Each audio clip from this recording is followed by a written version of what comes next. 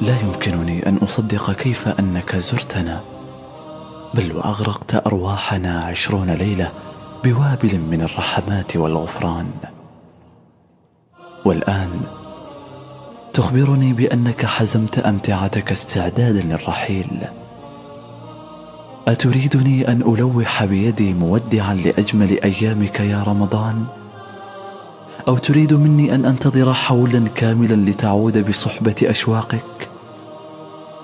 لا وربي لا أقوى على البعد لا أقوى أيا جنات النعيم أيا جنات النعيم أتراني فزت بك وبأنهارك الجاريات وأشجارك اليانعات وحورك الساحرات أم أنني لم أعتق من لظى النار بعد؟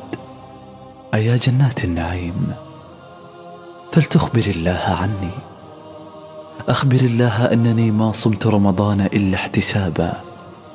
أخبريه سبحانه أنني ما قمت الليل إلا خوفا وطمعا. أخبر الله ليفتح لقلبي أبواب الريان ليصفح عني ليسامحني على ما كان من لوعة ذنبي.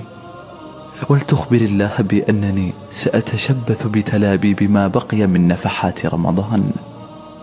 نعم. سأتعلق بها بكل قوتي.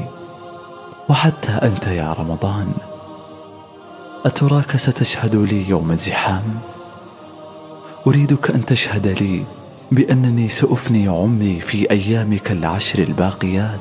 لن أفارق يدك سأمسك بك جيدا. سأدعو كثيرا عند مغيب شمسك. سأبكي حبا في جوف ليلك. سأبكي لأنني قد لا أراك ثانية وهل يضمن أحدا رؤية ابتسامة ثغرك مجددا يا رمضان؟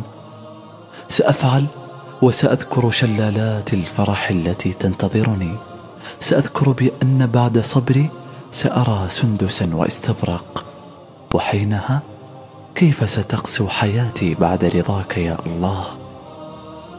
أيا ليلة القدر أسألك بالله لا ترحلي. إلا وقد قطعت خطيئاتي إربا إربا وغمست قلبي في شلالات النقاء ليعود أبيضا عذبا فما حالي إن لم تفعلي. أياما آنست قلبي أياما معدودات. أتراني سأراك ثانية؟ أوقن بأنك إن غبت عن ناظري فقد يكون لقاء أخيرا. لذا سأحبك يا رمضان في عشرك الأخيرات أكثر. سأحبك كما لم أفعل يوما.